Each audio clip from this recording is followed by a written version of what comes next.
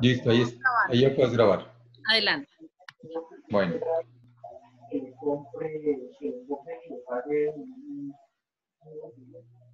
Bueno, vamos a entrar en, en, materia.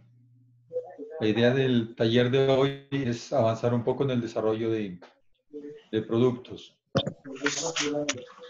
Yo lo que les sugiero, lo primero que les sugiero es tratar de hacer algo que nunca antes hayan hecho ya sea en cuanto a la función del producto, o sea, para qué se va a utilizar, o en cuanto a la forma del producto, que puede ser una variación bastante grande en la forma del producto. Eh, me parece que por lo menos como ensayo para el desarrollo de productos podría ser muy interesante lograr algo novedoso en cuanto a estas dos características. Alguna de las de la forma de lograr esto es, por ejemplo, si yo tengo una pieza de un tamaño muy pequeño, yo la puedo hacer en un tamaño muy grande, o sea, gigantar el tamaño de la pieza. Eh, en, alguna de estas charlas que tuvimos, yo les decía que me parece muy complejo el trabajo de las miniaturas o de las cosas muy pequeñitas. Es que las cosas que, que son de escala muy pequeña normalmente eh, no dejan muy buenas márgenes de ganancia como producto y tienen un trabajo supremamente dispendioso de pronto mucho más complejo que hacer una pieza en un tamaño más grande. Entonces, lo primero es que quisiera escucharlos a cada uno, como estamos pocos, podemos avanzar un poco más. ¿Qué tipo de productos hacen para, para tratar de, de encontrar algo que se salga de esos, de, de esos trabajos regulares que ustedes elaboran? No sé quién quiere iniciar contándome a ver qué tipo de trabajo hace. Profe, ¿puedo empezar? Sí, Amparo, cuéntame. Bueno, nosotros hacemos eh, accesorios como bufandas, chales, ruanas. Esos son como los tres mm, productos que hacemos eh, en mayor cantidad.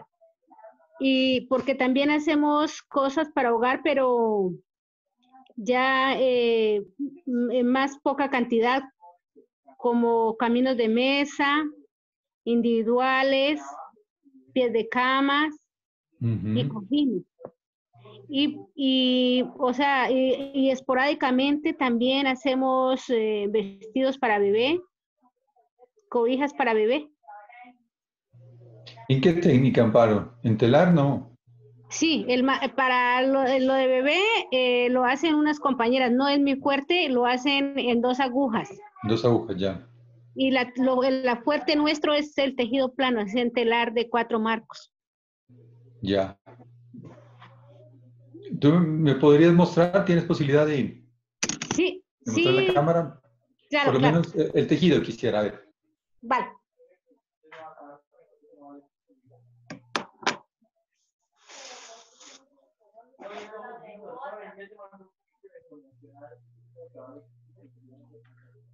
No sé. Esta es una bufanda. ¿Sí alcanza a observarla? A ver, un segundo. Eh, es, espera un momentico. ¿Cómo hago la cámara grande? La cámara grande.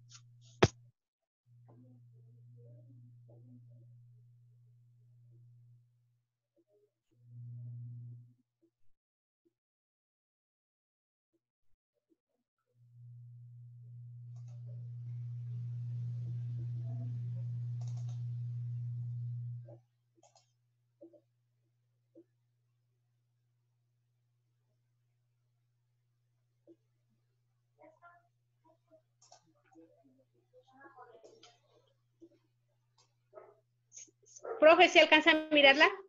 Sí, sí, ahí estamos mirando todos. Es una bufanda que estaba haciendo yo como, pues me estaban ah, eh, diciendo que hiciera algo de origen. Estoy intentando hacer el puente del humilladero de Popayán y estoy colocando los ladrillos en la tela. Es- y eso es lo que hacemos de chales también. Los chales son un poco más grandes, profe.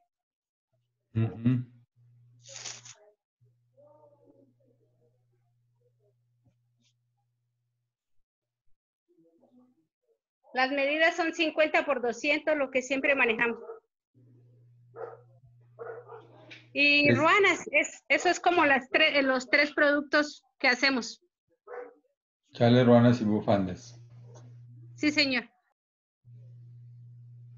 Bueno, está muy bien. No sé, eh, ¿alguien más quiere compartirnos lo que elabora? Me gustaría como mirar un poco. Norma. Sí, en mi caso, eh, no veo la pantalla para yo poder presentar las cosas. Bueno, yo hago carteras, sombreros, pulseras, collares, pantallas eh, y distintas estampas como a Don Quijote, Sancho Panza, eh, Reyes Magos, Nacimientos y he hecho piezas para, para competir. Eh, de un ejemplo de próceres puertorriqueños. Muéstrame ahí, ahí en tu cámara, Norma, por, por, favor, uno de tus tejidos. Yo atrás veo como unos bolsos que tienes atrás. Ok. Esos. Sí, súbele un poquito.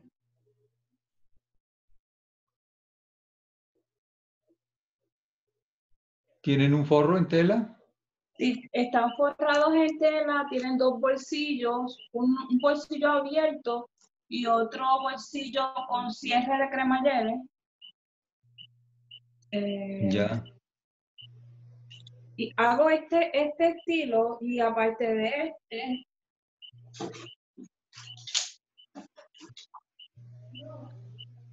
tengo este otro que es estilo sobre, pero entonces a este también, eh, perdón. Y este, a este también, yo le pongo algo por aquí, le coloco eh, un cordón y entonces lo puedo utilizar eh, colgando o si no quiero usarlo colgando, pues entonces lo uso tipo sobre. Ya, bien. ¿Y los colores me decías que es tinte? Sí, es tinte, tinte artificial. artificial porque yo cogí un taller o sea, Fomento, Fomento Industrial me pagó un taller de tintes eh, naturales y a pesar de que fue bien interesante y me encantó, pero este, los tintes, o sea, la fibra no me absorbía el color. Sí, no tiene adherencia. No, y entonces este, cuando yo estaba trabajando la fibra, se me impregnaba en las manos y no me gustaba porque el color era opaco. Y a mí me gusta que los colores sean brillantes. Sí, es que a veces por el tipo de fibra suele tener alguna sustancia encima, a veces sustancias como grasas que uno no conoce y por eso la adherencia de los tintes naturales es más compleja. Pero está bien. ¿Y qué más elaboras? Eh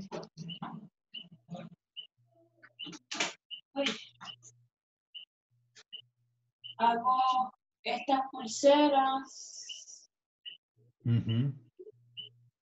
Eh, hice este abanico, pero fue para, y tenía que dar un taller virtual, y entonces yo pensé que lo más fácil era hacer un abanico, y como las personas no tenían la fibra, pues entonces yo le enseñé cómo hacerlo con papel y también cómo hacerlo con la fibra. E hice este abanico eh,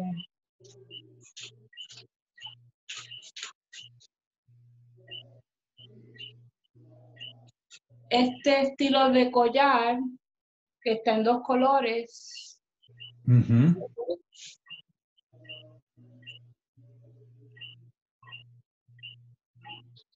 Este es otro estilo. Aquí hay tres, eh, con tres circulitos cada uno.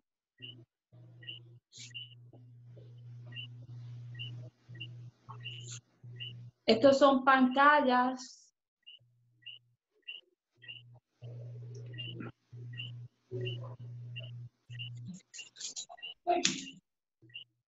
Norma, ¿a quién le vendes tú? Eh, pues yo este, a, personas no, no le vendo, o sea, nunca ¿En tu casa? A, tiendas, solamente a personas y yo no voy mucho a ferias. Ahora mismo tuvimos una actividad virtual el, este viernes que pasó ahora. Tuvimos una actividad virtual y fueron cuatro horas y lo que vendí fueron dos sets de pantallas y un collar. Ya, ok. ¿Y, lo normal es que tú vendas en tu casa? ¿Cómo haces para vender los productos? Eh, pues este, cuando voy a ferias, pues este, en las ferias y, y aquí en mi casa, pues tengo una página en Facebook y últimamente las piezas grandes que he vendido en esta, en esta pandemia ha sido por la página de Facebook que las han visto. Ya, no, soy tecnóloga, tecnóloga no, este, tecnológica, no conozco, no, no conozco mucho de tecnología, pero pues en lo poco que sé, pues he tratado de, de, que las personas pues puedan apreciar la, las piezas. Y con lo que he aprendido aquí en Agile, que nos han enfocado en Facebook e, e Instagram, tratando de tomar buenas fotos y publicándolas. Bueno, bien. Gracias. Una pregunta, Amparo, ¿ustedes dónde venden sus productos? ¿A quién se los venden o a través de qué medios? Mm, profe, nosotros, como yo no trabajo sola, sino en una asociación, tenemos una tienda en el pueblo eh, y tenemos y pertenecemos también a una asociación un poco más grande que se llama Corseda y ellos también tienen una tienda. En este momentico, pues la verdad, profe, las ventas sí están caídas por lo de la pandemia, pero eh, adicionalmente participamos en eventos feriales, en Manos de Oro, un evento que se hace aquí en Popayán, en Escuartesanías, y también Corseda tenía pues su página a través de, de la página se vendía, vendíamos nosotros. Ahorita está un poquito complicado, pero así es como hemos venido durante tantos años, ha sido así con esas, a través de esas dos tiendas y eventos feriales.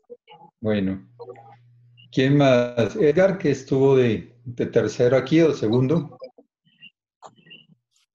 Pues eh, no tengo cómo mostrar porque, pues, sería en el Instagram, está como Artesanías Ecotema o Cooperativa Ecotema. Ya, pues yo, yo los conozco, recuerda, Edgar. Y usted más o menos los, los conoce algunos. Pero, pero cuénteme de sus productos, a ver, ¿qué está haciendo ahora? Nosotros trabajamos el telar horizontal, lo que son los productos típicos, que son las ruanas en lana natural, los chals, las bufandas, eh, chalecos, capas. Eh, ahora y también la otra técnica, que son los bordados sin aplique. Es decir, los conoce también. Sí, claro. gobelinos, eh, productos, todo de, por ejemplo, productos de decoración, gobelinos, cojines, productos de mesa, caminos de mesa, individuales, productos de cocina, guantes, cogeollas, eh, cuadros, sencillos. Y em, hacemos también los chalecos, trabajamos para, para una institución, educativa que es el Champañar. Y le, sí los, chalecos al grupo Amadeus del Instituto Champañat. Eh, Pues nuestro, nuestra forma de, ventas es casi como los otros compañeros, nosotros participamos en Artesanías, participamos en Expartesanos y también hacemos algunas correrías a nivel nacional. hemos estado también en algunas ferias internacionales, estuvimos en Expo Comer en Panamá, estuvimos en, en Santiago de Chile, ferias que son bastante interesantes y que nos ha ido muy bien. Pues ahora también, igual que a todos, eh, ha estado bastante difícil la situación. Eh, nuestras ventas prácticamente han ido a cero. Estamos, tenemos otro proyecto que nos tocó en estos días obligatoriamente montar y es la venta de materias primas. Estamos vendiendo todo lo que es lanas naturales, estamos vendiendo sintéticos, acrílicos, estamos vendiendo todo lo que es eh, hilos, y, eso nos ha dado para mantenernos en estos días porque pues la verdad es que somos, somos 10 personas que trabajamos directamente en el taller, pero tenemos 40 personas o a veces más eh, que trabajan satelitalmente para nosotros y en gran parte dependen de lo que nosotros les demos a ellas para llevar a sus casas. Eso es bastante complicado y no podemos dejarlas a ellas sin, sin el ingreso. Entonces hemos tratado en lo posible de, de mantenernos y así sea de a poco darles eh, trabajo. ¿Todavía tiene el almacén? Sí, no tenemos el almacén ahí en la calle 17, frente al Centro Comercial Santa Fe y tenemos el, el otro almacén en el taller en el barrio obrero. Ahora estamos en el barrio obrero, ya del corazón de Jesús nos trasladamos al barrio obrero. Ah, sí, no, no sabía. Bueno, ahora, ahora miramos un poco más los productos. Eh, Giovanni.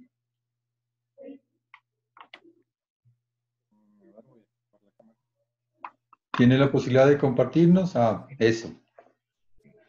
Ahorita estoy acá en una tienda. ¿Taller?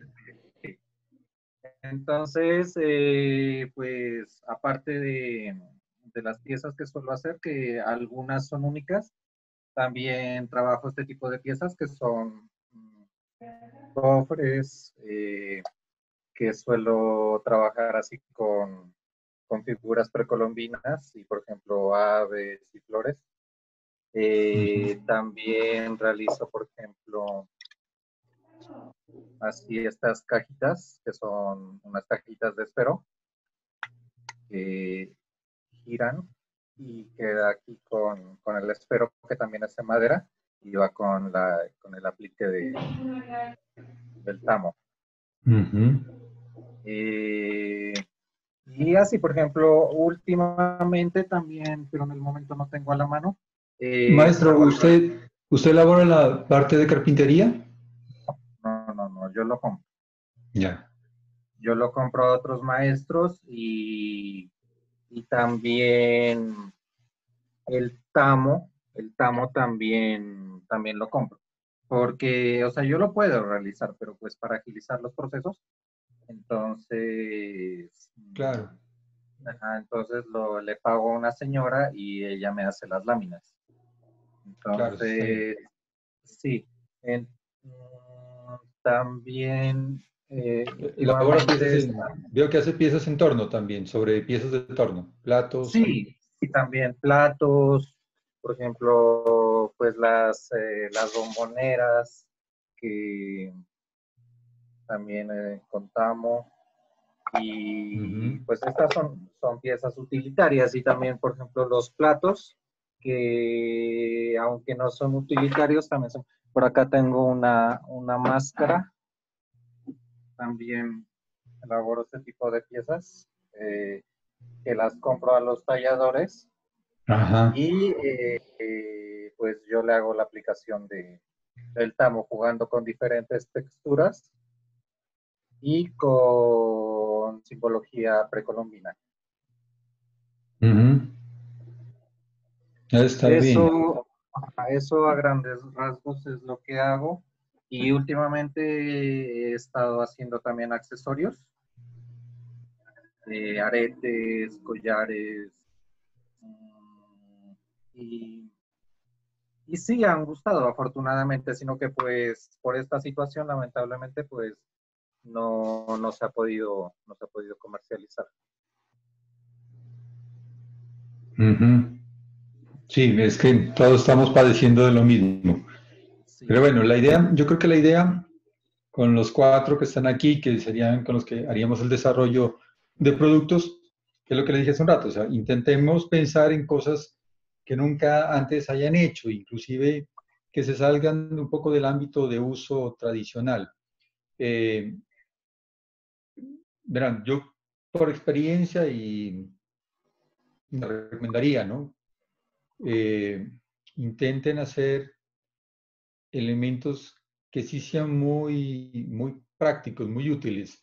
Eh, yo considero, por lo menos en el caso de Colombia y de la zona de Nariño, la norma, pues también como para contextualizarla un poquito, es que a veces las cosas que hacemos aquí, que elaboramos en la artesanía, si bien son increíbles en la técnica, en los acabados, eh, tienen una dedicación pues de tiempo altísima pero el enfoque que tienen de mercado no es muy claro, o sea, la gente no sabe a quién le va a vender. Y otra cosa que no saben es si realmente eso que, se está, que están haciendo, la gente sí lo está comprando.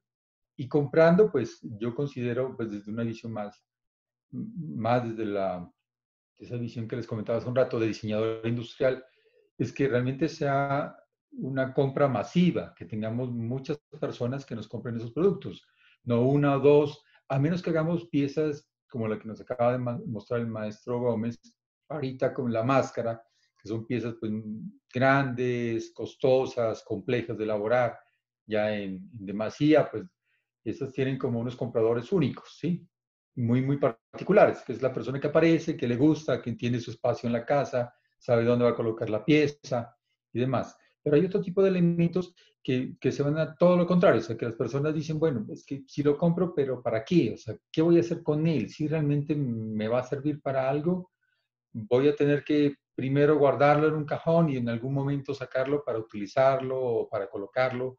Entonces, en eso hay que tener como un enfoque muy, muy claro. Pero pues son decisiones muy particulares de cada taller. Yo pienso que tanto en el desarrollo de los productos, en su en su forma, en sus apliques, en sus colores y demás, son decisiones particulares de cada taller.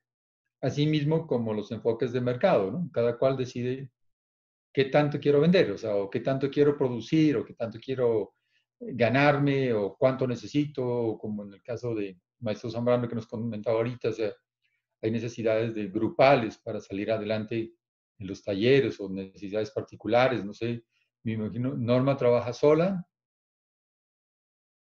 ¿sí? El maestro Giovanni también. Sí, últimamente he estado trabajando solo. Es que hasta hace dos años eh, yo trabajaba eh, para talleres. Para, para talleres. Y no tiene, no tiene auxiliares en el taller ni nada, solo. En el momento no. No, en el momento no. Aunque a veces cuando me suelen hacer algún pedido, eh, tengo bastantes conocidos que trabajan en la misma técnica y sabemos trabajar colaborativamente. Ah, eso es importante. Bueno, en el caso de, la maestra Amparo y de Edgar, pues son diferentes, ¿no? Porque son agrupaciones, son colectivos de trabajo, entonces hay que pensar mucho más allá de la simple necesidad personal o de suplir necesidades económicas muy, muy puntuales. Bueno, yo les propongo lo siguiente. Eh, miré los productos y me llegan algunas ideas a la cabeza y quisiera que las discutamos entre los cinco, porque estamos aquí es en un taller colaborativo. Eh, yo escuchaba que tanto Edgar como Amparo tienen un producto que es muy, muy práctico, además que tiene un comercio muy bueno, que son las bufandas. ¿Cierto? Amparo, Edgar. Sí, señor. yo le llamo a la bufanda el machete por precio y pienso que esa es la razón porque es el producto que más vendemos.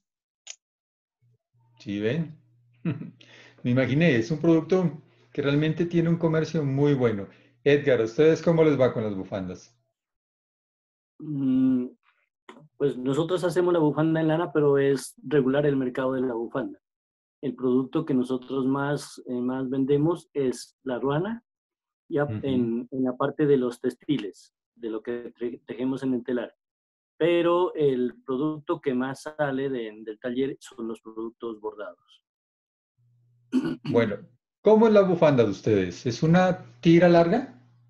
Sí, tiene 23 centímetros. Nosotros la tenemos de 23 centímetros de ancho por 1,80 de largo. ¿Y Amparo? Nosotros eh, estandarizamos, tiene 25 centímetros de ancho, 1,80 de largo y en este momentico estamos manejando más o menos 4 centímetros de fleco. Ya, listos. Esperen un momento.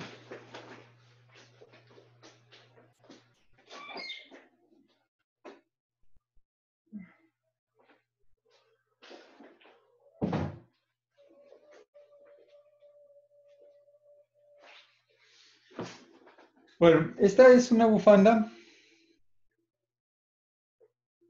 que la tengo hace mucho tiempo, tengo muchas, Tengo una cuñada que cada vez que viene a mi casa se lleva alguna. Me toca irlas a rescatar. Eh, y es una bufanda bastante larga. O sea, yo mido un metro ochenta y esta bufanda, creo que sí.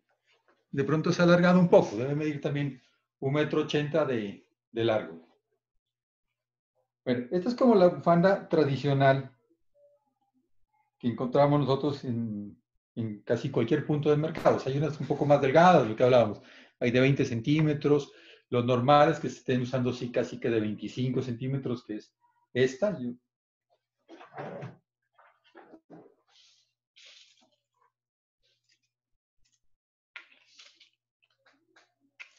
Esta tiene 27.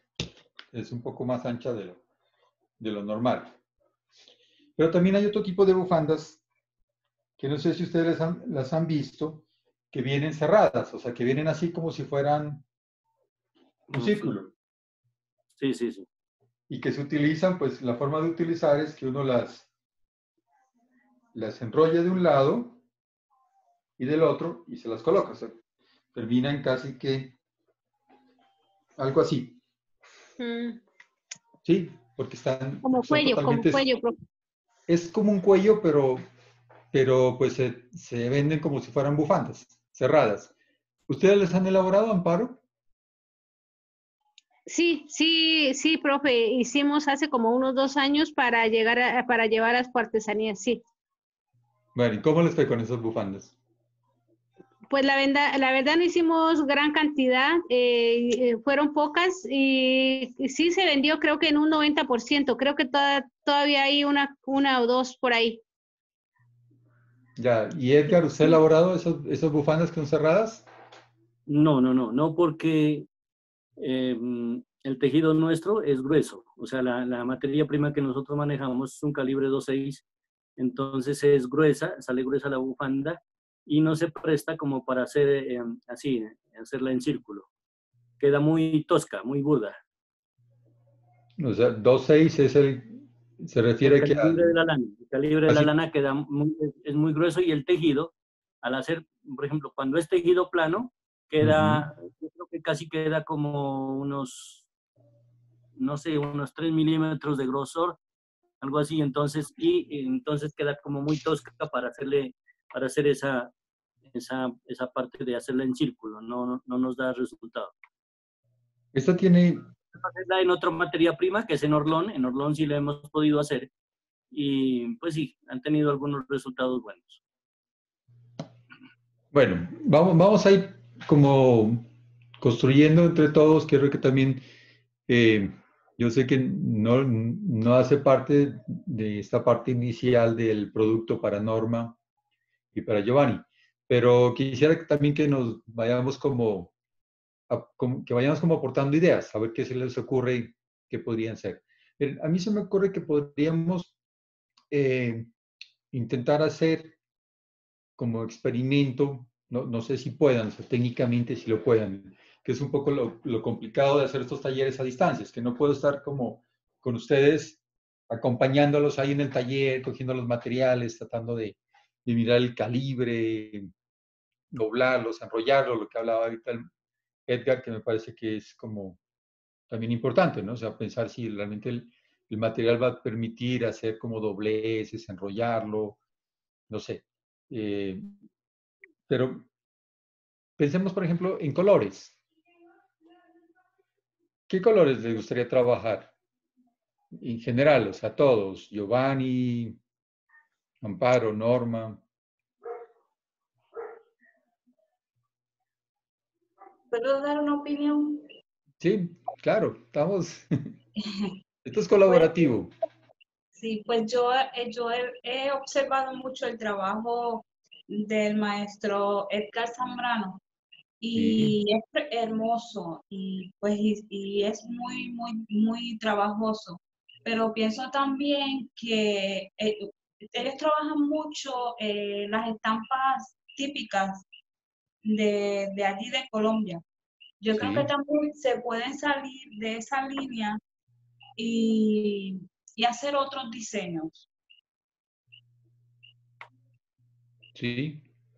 Sí, yo también he pensado que, o sea, la técnica de los apliques es, es muy, muy interesante, muy, muy dispendiosa también, porque tiene cantidad de elementos y demás.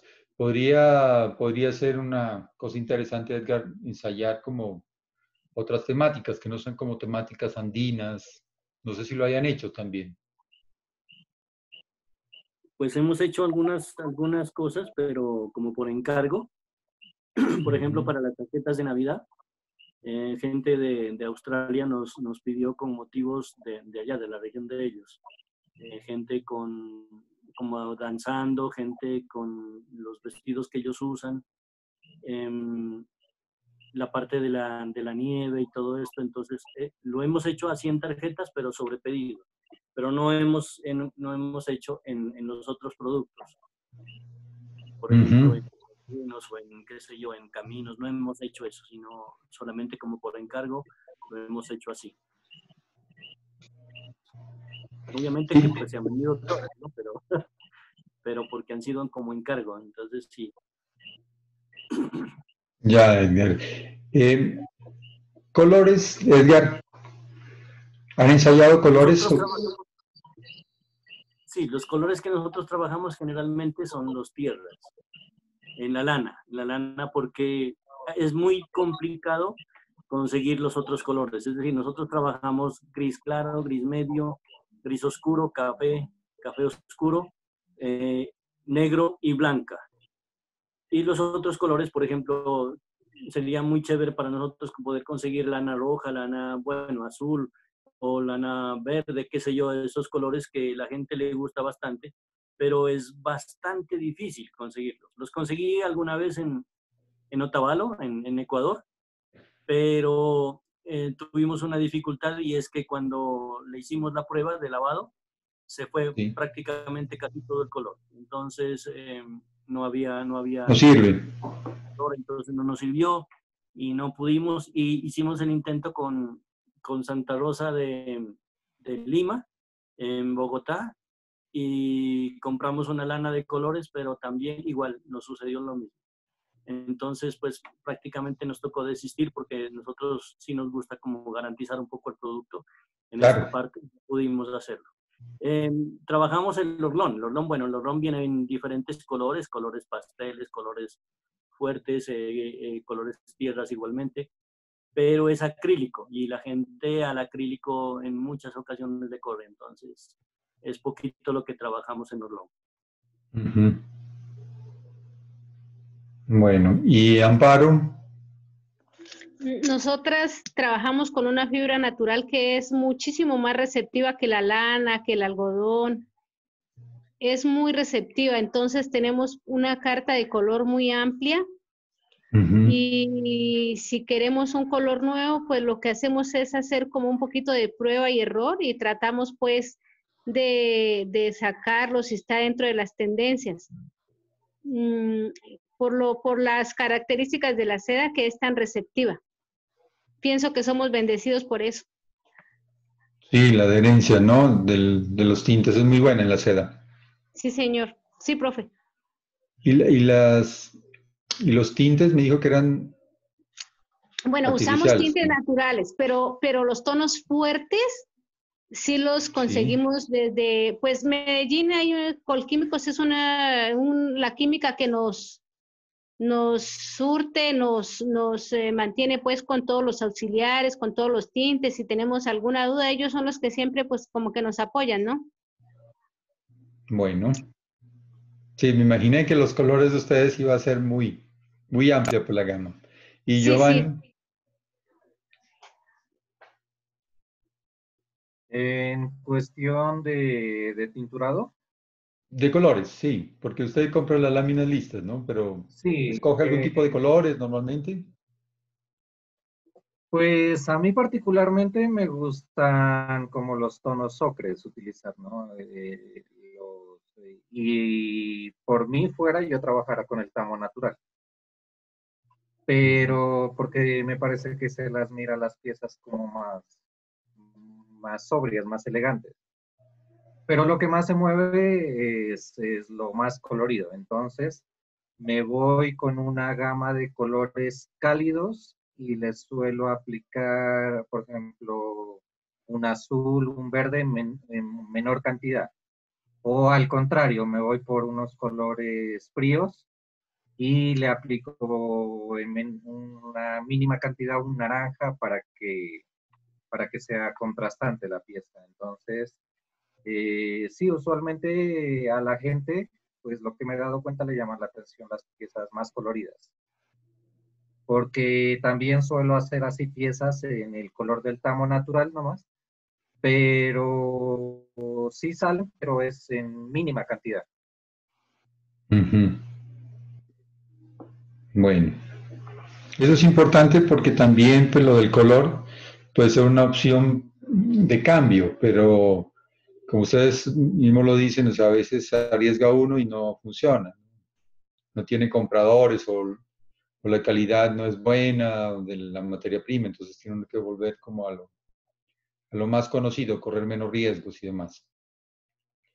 Bueno, eh, yo quisiera pues proponerles algo. No sé si tengan posibilidades de conseguir materiales para trabajar, maestro Giovanni, por ejemplo. ¿En el momento? No, no, no, no en el momento, para estos días, o sea, para poder realizar las piezas, realizar algunos ensayos y demás. Claro, o sea, el material, el tamo, sí, o sea, a veces, eh, por ejemplo, las piezas en madera, si son nuevos prototipos, o sea, uno los puede encargar, pero a veces se demoran los maestros, entonces eh, claro, porque estamos pues sobre el tiempo, porque si hablamos para el 7 de noviembre, estamos exactamente un mes, ¿cierto? Sí, tocaría, tocaría encargarlas es ya, porque ellos usualmente dicen, en unos 10 días lo entrego, pero esos 10 días se saben convertir en 20 días. Sí, sí porque uno ya... yo lo he vivido. Entonces, eh, uno tiene que, del tiempo que le digan, el doble, calcular ya. sí, les voy a mostrar algo que, que, he estado como experimentando, de pronto les sirve de inspiración.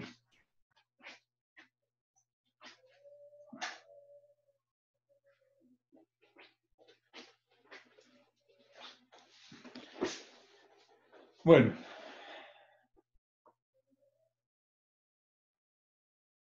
¿Sí lo ven? sí. Se ve con claridad. Son unos relojes.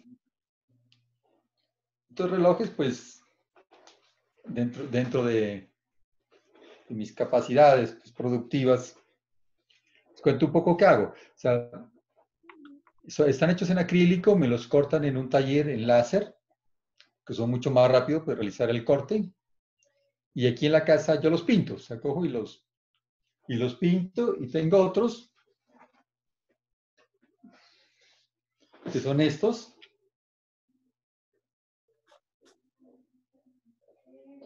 Es una pieza en madera.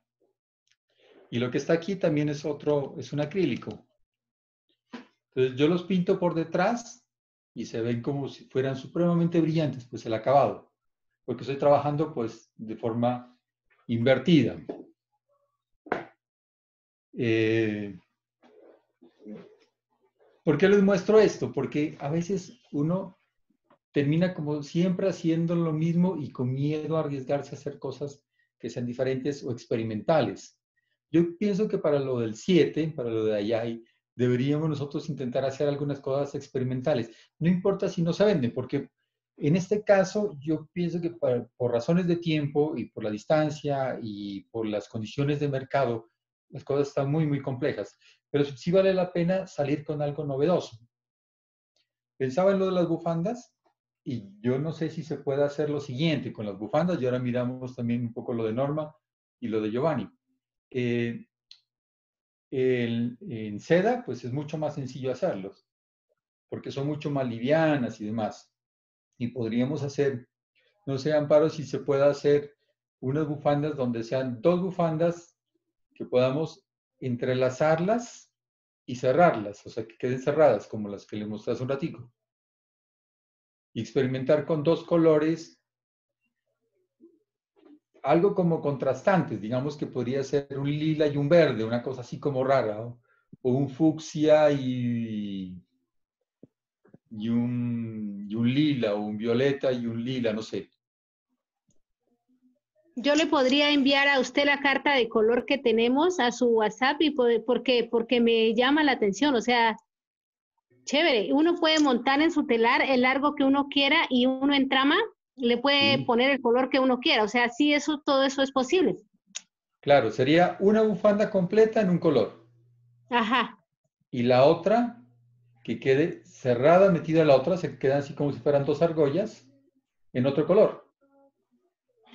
Sí, eso es posible. Bueno, le Yo, yo le podría mandar la carta de color, profe, si usted me puede No. al final de la clase regalarme el WhatsApp y miramos el... No, Amparo, hágalo usted. Usted es la maestra. Yo solo soy un guía aquí. Estoy segurísimo que lo va a sacar mucho mejor que lo que yo podría proponerles. es hacer dos bufandas en un, cada una con un color distinto, ¿cierto? Sí, y que queden entrelazadas. A ver qué, qué resultado tenemos. Las miramos como puestas, a ver. Yo creo que de- tendrían que ser, sí, más o menos de un metro sesenta. No sé, usted me dice y yo hago, pro- eh, profe, lo- la, la idea es trabajar, las- estoy dis- dispuesta, Listo. disponible. Usted, usted me, usted me dijo que las estaba haciendo de qué largo? Un 80. De un 80, entonces hagámoslos. Dos de un 80. Ahora les muestro otra cosa aquí.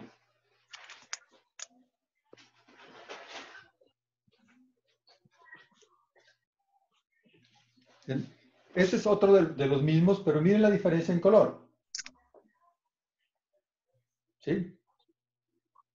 Entonces, ¿qué hago yo normalmente? O sea, miren este, miren este, miremos este otro. O sea, esto es un poco experimental, o sea, uno nunca sabe con exactitud cuál va a ser el color exitoso en los productos. Entonces le toca a uno arriesgarse un poquito y tratar de hacer esa combinación, a ver qué, qué puede hacer. Mucho desde el propio sentimiento de lo que uno, o de lo que uno percibe que podría ser lo ideal, del color. Yo creo que las tendencias, si bien son importantes, pero también uno puede empezar a imponer como tendencias. No sé si con Edgar podamos hacer algo similar. Pero, pero con la lana me queda bastante complicado porque queda muy, muy, muy grueso y no se prestaría como para poderlo usar así. Me tocaría utilizar otra clase de materia prima que sería como el, el, el acrílico, el orlón. Entonces, esa sí me da, me da más posibilidades de poderlo manejar. ¿Y usted cree que es más gruesa que esta? No, es el, el, la lana, sí. O, o, similar puede ser, entonces, eh, pero no... Sí, porque esta es... Como, no, es tan, no es tan frágil como la veo esa, sino que es, es como más tiesa. Ya, listo, no es tan flexible. O sea, no tiene esa no, no posibilidad de, de, de, enrollarse un poco ahí. Pero eso es por la técnica, por la técnica del telar. Sí. Y de la lana, de la lana, el, el, el calibre de la lana es, es grueso, es un 2.6, entonces no sé. Sí, claro, que debe ser mucho, ya lo estoy mirando, esta es mucho más delgada, sí. sí. Esta lo que pasa es que es como si, o sea, esta es, en, es doble, así. Mm, ya, ah, ya. ¿Sí? Sí. En sí. realidad son dos, dos caras de lana. Ajá. Bueno, entonces pensemos en otra cosa, Edgar, a ver cómo, cómo avanzamos. Eh, Norma, yo miro sus productos y me gustaría que intente hacer algo grande. ¿Algo, algo más que... que... Sí, no sé qué posibilidades tenga. O sea, yo, yo les voto como ideas, o sea, pero ustedes me dicen, bueno, frene, frene que no, no, se vaya tan, tan rápido, porque no se puede o no se puede. Pero me gustaría mirar un, como un, un bolso así grande. No sé si se, si se le puede hacer una especie de fondo que sirva como, como esas bolsas que se están utilizando hoy en día en los supermercados. Y okay. cuando, vamos, cuando vamos de compras ya no estamos utilizando las bolsas plásticas, sino que se están utilizando las bolsas de, de tela, algunas que son de, como decía, interlón, hay unas de lona. No sé si sea posible hacer una, una cosa así grande. Sí, pues puedo intentarlo. De hecho, yo había pensado hacer la cartera en otro estilo, este, pero lo único es que, que le tengo que poner siempre el forro por la parte de adentro porque la pleita no me queda, no me queda tan derecha y, y, para hacer las terminaciones y que no se vea mal, pues tengo que forrarla. Ya. Bueno, podríamos ensayar primero sin el forro, a ver cómo, cómo resulta. Entonces, este primer paso es como, este primer paso es como arriesgarse a experimentar. O sea, yo quiero ver hasta dónde pueden llegar ustedes experimentando un poco con, con el color, con el tamaño, con sus propios materiales. Por eso, por eso, no quiero que se salga mucho de lo que están, de lo que tienen en los talleres y de lo que están produciendo en los talleres. O sea, mantenerse un poquito ahí. Porque no quisiera hacer cosas como para la mesa, o sea, hacer carpetas individuales. Me parece que eso ya hay mucho y en diferentes técnicas, entonces. ¿Sí? Ok, perfecto. Bueno, eh, Giovanni, pensemos en un producto más sencillo del, que lo que usted hace. ¿Usted ha hecho fruteros? Eh, sí, centros de mesa más que todo. ¿En torno? Centros de mesa sí, sí, sí se hacía bastantes. O sea, más o menos era, eran similar a los platos, sino que eran más, más gruesos. Y tenían, o sea, un pequeño desnivel. Eh, que hacía que, por ejemplo, los elementos que ahí le pongan se vayan al centro. Pero eran, eran como platos. Y fruteros sí, también se ha hecho. O sea, eh, el torno se presta para hacer ese, ese tipo de piezas. Ya, bueno. Yo le voy a mostrar aquí una imagen me voy a abrirla, abrirla diferente. Con...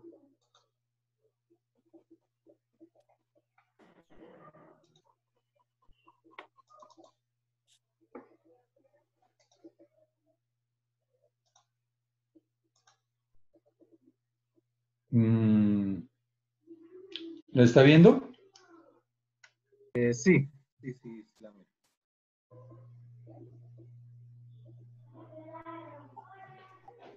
¿Si la ven todos? Sí, es una, una pieza como escultórica, ¿no? Sí. Bueno, es, es un, es un frutero. Es un frutero. Yo quisiera que experimentemos con algo supremamente sencillo. Si es posible conseguirse un pedazo de madera un tajillo de madera, que es una medida que para, para norma o los que no, no sé si utilizan la misma expresión, que tiene un espesor. O sea, buscarse como un tajillo, ahí no muy largo, podría ser de unos 40 centímetros de largo. Y lo que haríamos es dejar una sección a ver, voy a, intentar dibujarla aquí. Estoy en mi, en mi estudio.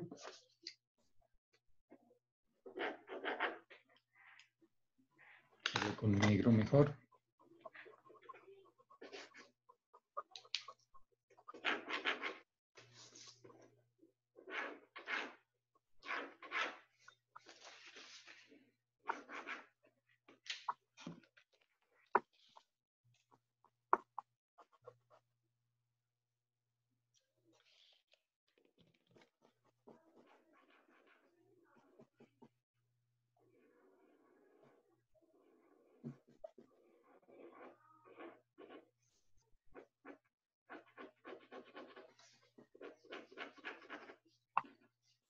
que sería algo así. Ya. Entonces, ¿qué tenemos? Lo estamos mirando desde arriba. Tenemos un tajillo de más o menos unos 40 centímetros de largo por unos 12 o 15 de lo que lo consiga. ¿Sí? Tendría estos tres elementos que son unas concavidades, o sea, abrir como unos huecos. Y esta zona de aquí sería la que tiene la aplicación suya. Solamente una zona, la que quiera, el tamaño que quiera y con, con los colores que usted guste y demás. Es únicamente como experimental. Si no se puede, para de hoy en ocho tener estas, estas, por lo menos tener como el bloquecito y tenerlo y tenerlo con la aplicación de Tamo. ¿Qué opinan? ¿Es posible? Sí, o sea, me, me gustaba mucho la, como la textura que habían dado con, con la talla de, de la anterior pieza. Entonces, Sí. eh, me parecería interesante también jugar con esas irregularidades, ¿no? Entonces, Sí, o sea, es más, es más complejo y es un poco más costoso elaborar esas piezas. A veces Claro. ocurre algo, a, veces ocurre algo con las técnicas que trabajamos, es que cuesta más, en, yo creo que en el caso de, de la gente que está trabajando con tejidos, no, que es Norma, Amparo y Edgar.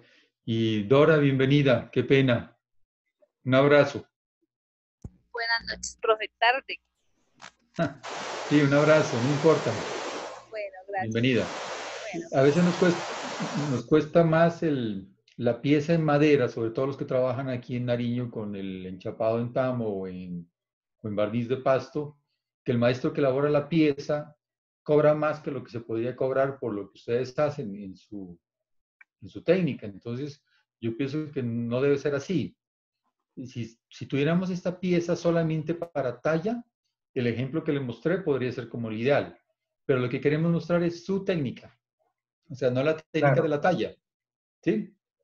claro, Entonces, como, como lo que vale para usted es su técnica y es donde usted va a tener utilidades, entonces mostremos más nuestra técnica, lo que nosotros hacemos y lo hacemos bien. ¿Vale? Entonces, por eso, por eso le muestro una pieza más sencilla. A veces no me gustan tampoco los, los ejemplos porque ¡plum! se van a un poco como a copiar lo que está ahí. Pero me gustaría que ensayemos, o sea, ensayemos con algo muy, muy básico, muy elemental, a ver qué resulta. sí, yo pienso que sí, o sea, hay que, hay que, hay que experimentar y, y sí, me parece, me parece interesante jugar con, con, con las texturas. y, me voy- y tengo, he tenido algunas ideas de, de texturas que creo que se podría, se podría aplicar en ese, en ese tipo de. Sí, Eh, no, Es más, no es figurativo, esta- sino algo más abstracto. Sí, esta pieza podría ser que solamente donde voy a aplicar el tamo esté liso, sea, esté pulido. El resto podría quedar burda, tal cual como sale la madera del, del acerrío, o sea, que no, que tiene esas marcas de la sierra, no importa. Y después miramos si le aplicamos algún tipo de tinte o algo. Ya, ¿Listo? listo. Bueno, voy a, eh, déjenme aquí, voy un momento a salir de pantalla. Voy a buscar aquí una, una cosa en internet.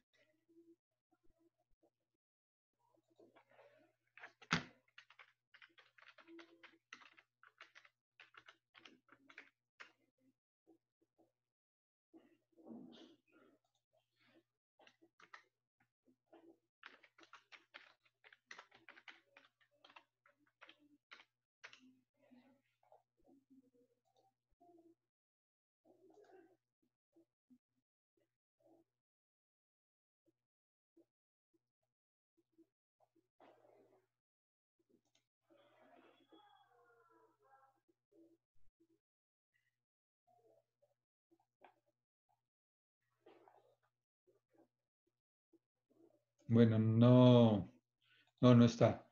Es que quería comentarles algo un poco a, Norma, le puede porque yo sé que en seda esto sí se hace mucho. Eh, ustedes que saben un poco más, cuando se hace esa- esos tinturados que son parciales, que se, que se amarran las piezas, se meten en tinta. ¿Cómo se llama esto? Plan G, profe, o tinta de reserva. O también lo podemos llamar en cap. Y cuando se sale, pues sale como manchados y salen como unos, Sí, unos espirales. O Plan G, sí, sí, profe, nosotros podemos manejar esa técnica. Bueno, pero quería comentarle era más a Norma. Norma, alguna vez yo diseñé con los artesanos de aquí que elaboran sombreros un- una pieza que se llama sombrero carnaval. Y lo que hice fue un sombrero normal y que tenía las fibras todas sueltas, todas, todas sueltas.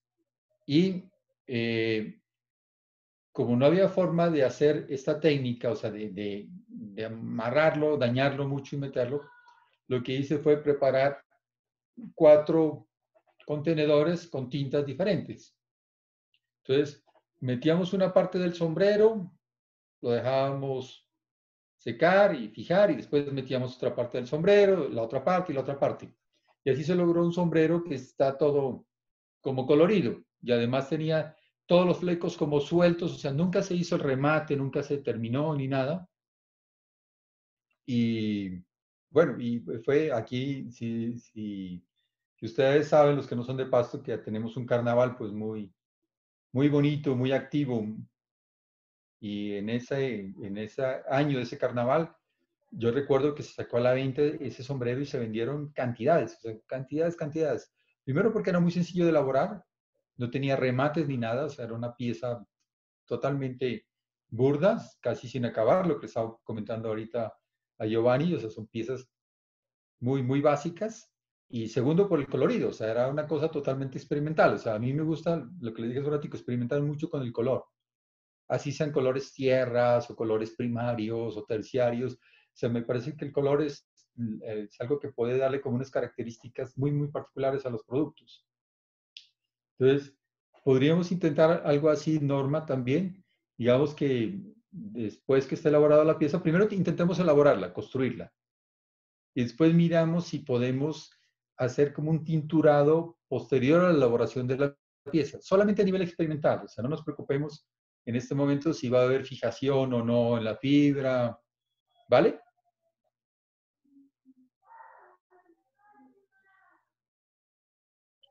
Pero sería un ejemplo, tejiendo la, fibra, no cosiéndola. No, una vez que esté elaborada la pieza, miramos cómo lo tinturamos. Pues le voy a enseñar uno. A ver. Igual, igual Giovanni, ¿no? O sea, yo pienso que podríamos pensar en que esas piezas podemos después conseguirnos algún tinte para madera y meterlas, hacer algo como, como diferente. Ok. E- Esto es un sombrero terminado, pero entonces, ¿cómo? No, no tengo idea cómo hacerlo que quede así como loquito. Bueno, no, no, pero va- vamos a ensayar lo de la tinta en el, en el bolso grande, no en el En el sombrero. bolso. Sí, qué bonito sombrero. sí, Está todo hecho. Esta Sí. parte, esta parte aquí yo se la compro a otra artesana que trabaja en el petate porque a ella le queda bien derechita. Esto se llama una pleita. Eh, yo le compro el rollo de la pleita, pero entonces este, yo le hago las terminaciones y entonces yo coso toda esta parte aquí, comienzo por aquí en un circulito bien pequeñito, continúo cosiendo y luego que ya tengo esta parte, la uno a esta y entonces comienzo a coser aquí el ala. Y este y le pues y le hago las decoraciones. Compro cinta, esto es con rafia, compro cinta y le hago las decoraciones. Ay, Ups, se voló. sí, pero yo la arreglo. ¿Y, y elaboran muchos de esos sombreros? Pues he hecho, yo creo que yo lo que llevo de artesana son con, de 2016 más o menos para acá, sea que es muy poco tiempo.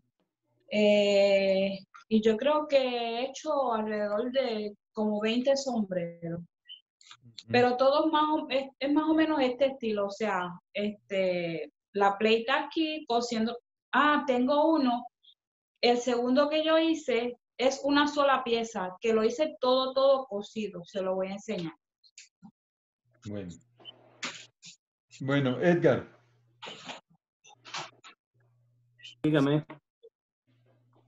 Eh, un poco me tiene pensando el material, ¿no? No quisiera pues cambiar la lana, quisiera que mantuviéramos lo de la lana. Pero no sé, ¿qué se le ocurre a ustedes? Al- Algo que Ahorita- alguna vez hayan pensado en hacer que nunca hayan hecho, o sea, que digan, Ahorita estamos haciendo un chaleco, un chaleco, es un chaleco como al estilo gabán, es largo como para dama, eh, viene a dar más o menos cerca de la rodilla casi. Em, y le, le- lo hemos bordado en la parte, en la parte, en el respaldo, en la parte de la espalda, de la cintura hacia abajo, le hemos hecho un bordado en triángulo y en la parte delantera le hemos hecho un, unos grabados a, a mano también, todo a mano, y pues nos está dando como resultado, o sea, ya, ya hemos tenido dos, hemos tenido unas dos personas que, que nos han hecho pedido de ese y, y, y ya han salido alrededor de unas ocho piezas. Y estamos experimentando ya con ese y parece ser que nos va a ir bien. Lastimosamente, pues no lo pudimos promocionar en la feria porque pues ya no, no, no hubo. Pero en el Instagram, a través del Instagram, eh, la gente se ha interesado mucho. Edgar, ¿y, y le están haciendo, me dice, un bordado o apliques atrás? Bordado apliques, bordado en apliques en la, en, en la espalda. Es que lo tengo Ya. en Instagram, lastimosamente que yo so- estoy trabajando con el celular y no puedo pasarme a esa parte para poder Bueno. No, no, yo, si está ahí, yo lo busco. ¿Y, lo, y los apliques son de los tradicionales? De los tradicionales, sí, o sea, con paisaje.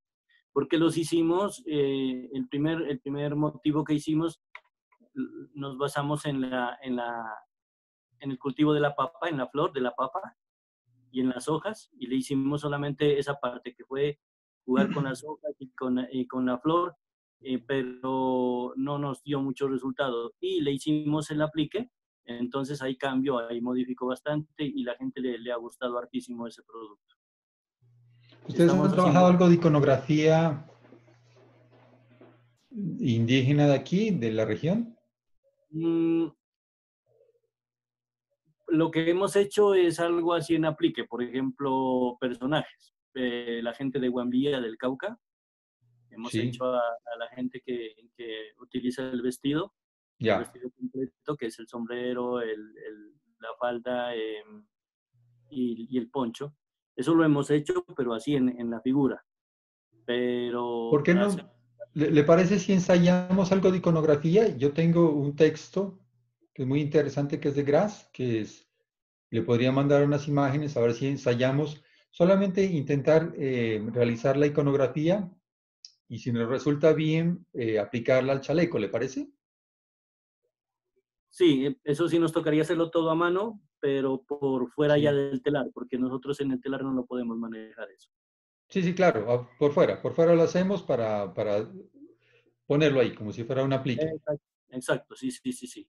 Listo, entonces yo ahora les voy a mandar, les voy a poner aquí en el, en el chat mi número de, del WhatsApp sí. para que si tienen preguntas, algo me consulten y, eh, lo que necesiten en este, en este resto de días.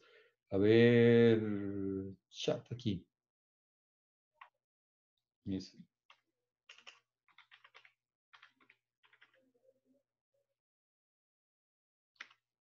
Yo creo que para Colombia es más 57. Sí, Entonces serían, 300 ah, no lo alcancé a copiar. aquí se los dejo 300. Ahí está. 521, 35, 22. Me escriben lo que necesiten, si tienen dudas. Entonces, igual Edgar me manda un mensajito y yo ya le, le envío la información del, de lo de la iconografía, ¿le parece? Listo, listo, gracias. Y intentemos trabajar por ahí para no salirnos un poco de lo que están haciendo y si están dando resultados con el chaleco, pues entonces hagamos alguna aplicación sobre ese chaleco a ver qué resultados tenemos en, en la feria. Sí, Eh, en la perdón, parte- en, en Ayay.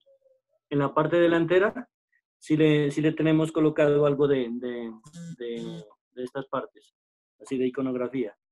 Pero en la Sí. parte, en, el- en la espalda sí le tenemos todo lo que se aplique. Bueno, miremos, miramos, hay unas imágenes, yo creo que con esos de Gras que son bien interesantes, le mando una información para que ustedes decidan cuál hacer. Listo, Yo creo que gracias. mane- Ahorita tenemos ya unos, unos listos como para mandar a hacer la decoración de la parte delantera, entonces me interesaría bastante ah, utilizar esa parte. Bueno. Listo, Edgar. Entonces trabajemos eso. Quedamos pendientes lo de Dora.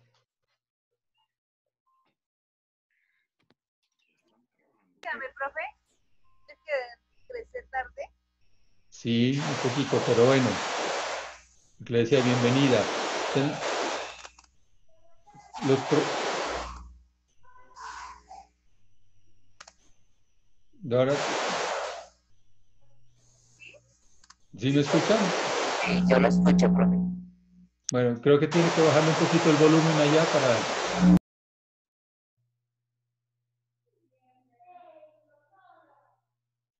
Ahí.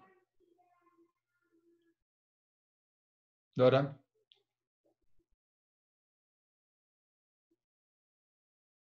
Sí, profe, lo escucho. Ahí está, ahí mucho mejor.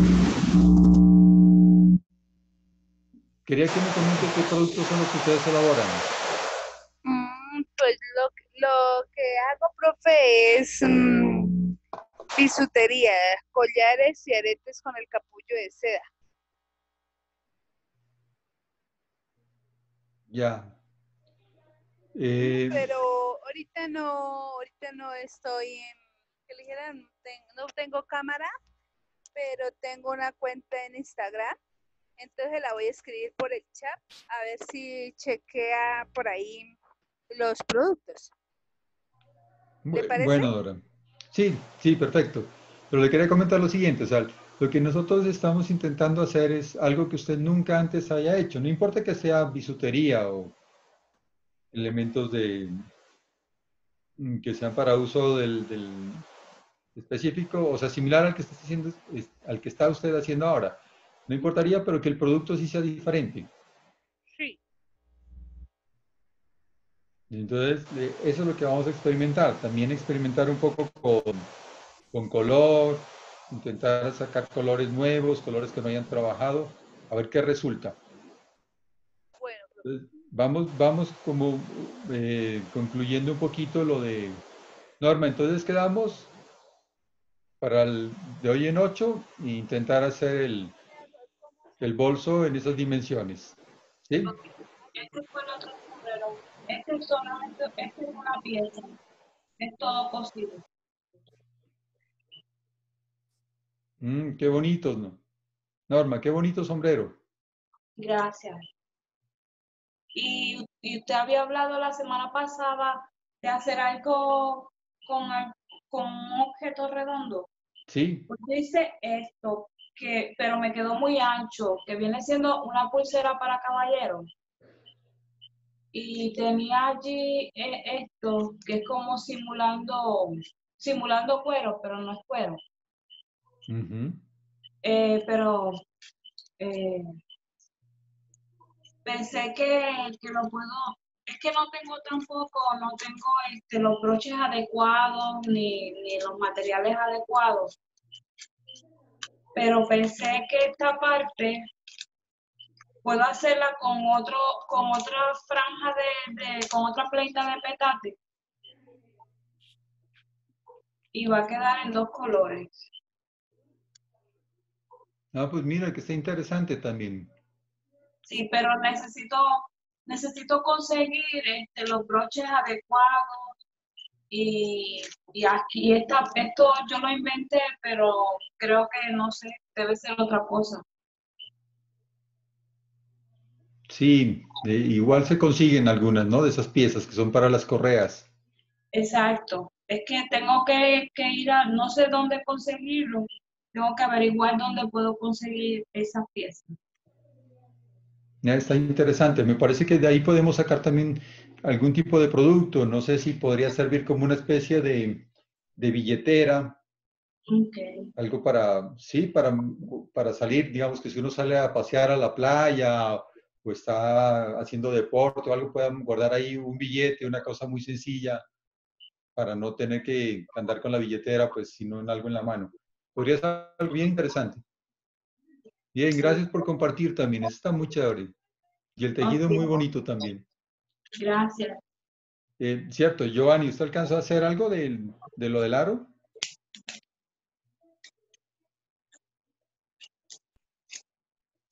Eh, Giovanni. pues estaba tratando de, de realizar como algunos bocetos, pero todavía no tengo como una idea definida. Bueno, entonces centrémonos en lo del, en lo del frutero, a ver cómo nos va. Para, para ver si dentro de ocho días lo tenemos ya resuelto. Y, y profe, la idea que le había comentado de, de la lámpara. Es que Sí. eh, eh, a mí se me ocurrió e- esa idea porque la otra vez el maestro, el maestro Bonilla nos comentaba que él estaba realizando papel reciclado con lo que le sobraba de la, con los residuos de, de la tagua. Entonces él nos indicaba y me parecía muy bonito ese papel. Entonces a mí se me ocurría que ese papel se lo podría utilizar para lámparas y quedaría eh, espectacular porque además le, le incrustan hojas secas y entonces, eh, el modelo que le, le indicaba de la lámpara era, era en torno, era en torno vacío, que la otra vez nos hizo hacer el ejercicio con lo de... Sí. ¿no? Sí, también, Giovanni. O sea, tendríamos, tendríamos dos opciones ahí. Miremos cómo avanzamos, igual que lo que nos mostró Norma ahorita. O sea, tenemos, miren que de ese ejercicio inicial, se me pasó al inicio de este taller, de ese ejercicio inicial, pues la idea es como obtener algo también. Así sea muy, muy experimental, pero claro, si puedes trabajar en ambos, perfecto. Tendríamos dos cosas para presentar ahí en Ayay. sí, voy a, voy a ir a mirar la madera y voy a ver por, por qué opción me... Listo. ¿Con qué tornero trabajas? Pues yo a veces suelo trabajar pues con varios, o sea, yo con- los conozco, por ejemplo, al maestro Taborda, al maestro Edwin Ortega, entonces, y también con otros que no son tan conocidos también. Ya, Jorge Chávez. Sí, con el maestro Jorge, pero como le digo, o sea, eh, eh, últimamente he estado trabajando con lo de banistería, con los cofres y las cajas de lapicero y todos estos elementos que, que me lo realiza otro maestro. Bueno, sí, sí, o sea, cualquiera de ellos yo creo que te puede realizar la pieza para la lámpara. Entonces miramos para la próxima semana, te- intentemos sacar lo del bloque para lo del frutero y si quieres el dibujo del, de la lámpara. Te ayudo, te ayudo a tratar de solucionar los aspectos técnicos y demás de la lámpara, ¿vale? Listo. Y, lo de- y, y charlarse con el maestro para mirar lo del papel, a ver si lo podemos conseguir con él.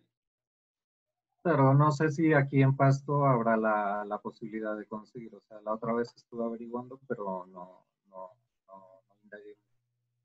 Bueno, Y o lo, o lo simulamos. Que, que el grosor de, de la madera debe ser de cuánto, o sea, lo alto, Eh, de un tajillo. un tajillo allá. Sí, y, de largo 40, por el ancho no sé si 12 o 15, lo que quieras. O sea, es muy, muy a, a lo que tú puedas amoldarte en ese momento y que nos resulte. O sea, que podamos sacarlo rápido, que no nos quedemos ahí frenados un poco por las dimensiones, igual Norma, las que quiera. Sí, Giovanni igual, o sea, si quiere un poco más largo, un poco más, más ancho, no importa. ¿Vale? Bueno, está bien. Listo. Maestro Edgar, entonces quedó pendiente de enviarle lo suyo.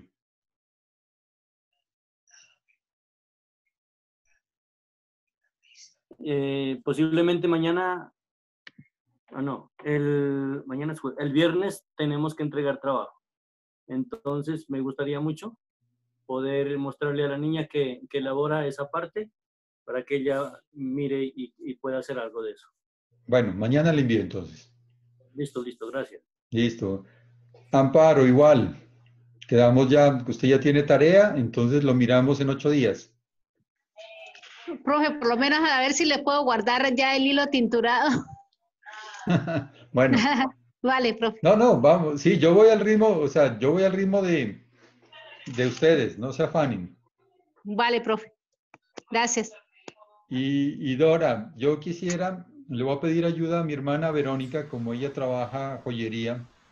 Ella conoce su trabajo también, estuvo comentándome algún día sobre, sobre varios de ustedes, pues, y por eso también me motivó a hacer este taller, porque me parece muy, muy interesante.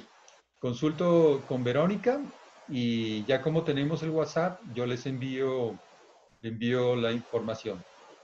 Bueno, Liz está levantando la mano. Sí, yo ya hablé con Verónica y ella tiene, ella me dice que puede preparar un taller especial para bisutería. Sí, sí, lo charlamos el otro día, que ella tiene una metodología y un taller preparado. Entonces, Dora, vamos a trabajar con, con Verónica y, y miramos a ver qué resulta, qué resulta de esto, ¿vale?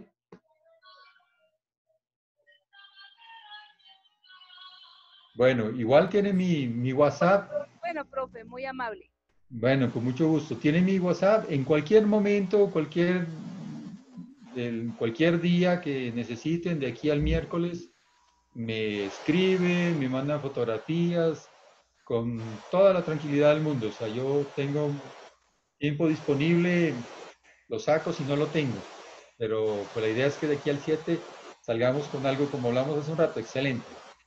Vamos a sacar muy buenos productos, productos novedosos, muy experimentales, que ustedes gocen también haciendo esto, o sea, que se diviertan, no es, no es un deber, no es una exigencia para nadie, más vale como cambiar un poquito lo que les dije en las primeras charlas, cambiar el sabor de esa sopa que comemos todos los días por algo diferente, a ver qué resulta. Puede que, que nos salga muy salado, muy dulce, o puede que salga, no sé. Listo, Liz, ¿no? Si quieres, para dar los anuncios parroquiales, gracias. empanadas. Ay, qué delicia. A la, a la salida vendemos empanadas. Genial. Bueno, veo que, que van a hablar por WhatsApp, entonces ahorita le comparto a todas las personas del grupo el, el teléfono, el contacto del, del profesor Daniel. ¿Listo? Daniel, te reitero la invitación a que, a que formes parte del, del grupo Ah, también. Es que tengo, sí, no, no, como- sí, lo voy a hacer, se me ha pasado. Es un grupo como- muy tranquilo. Nosotros casi no. Empezamos, sí, empezamos clases, entonces ha sido la semana pasada y esta una locura. No, y este grupo es muy tranquilo, Daniel. O sea, nosotros estrictamente lo necesario y tenemos un código de, de- o, o unos acuerdos más bien y, y nos ha ido bastante bien. Bueno, Bueno, avisos parroquiales. El, el sábado 10 de octubre tenemos el Scrum Day Panamá. ¿Eso qué es? Eso es una convocatoria del equipo ágil de Panamá a toda Latinoamérica. Nosotros hoy les escribimos para que eh, nos dejaran un minutico en el cierre eh, para promocionar nuestro evento Allá el Artesano y nos dijeron que sí. Tienen mil personas inscritas y están pensando que las horas pico van a tener más o menos unas 400 personas eh, en, em, en reunión. En reuniones es un open space también. Entonces, están todos invitados y de manera muy especial le hago la invitación a cualquier persona que quiera ser vocero de los artesanos para hablar en ese minuto que nos dieron, para que se animen. La idea es que ustedes se empoderen. váyanse tomando los espacios, empodérense, eh, charlen con la gente, no les dé miedo. Aquí ya los veo muy sueltos, me parece muy chévere. Bueno, pues hay una oportunidad bonita para, para invitar a los ágiles de Latinoamérica, incluso va a haber gente de, eh, de otras partes de Estados Unidos, entiendo que, que hay también gente invitada. Entonces, esos eran mis, mis avisos parroquiales. Y el último es, mañana vamos a tener una reunión extra y la necesitamos hacer, por favor, a las de seis y media a siete y media para acordar el tema de los recursos, porque es importante para sacar el link y que todo quede súper claro. ¿Alguna pregunta?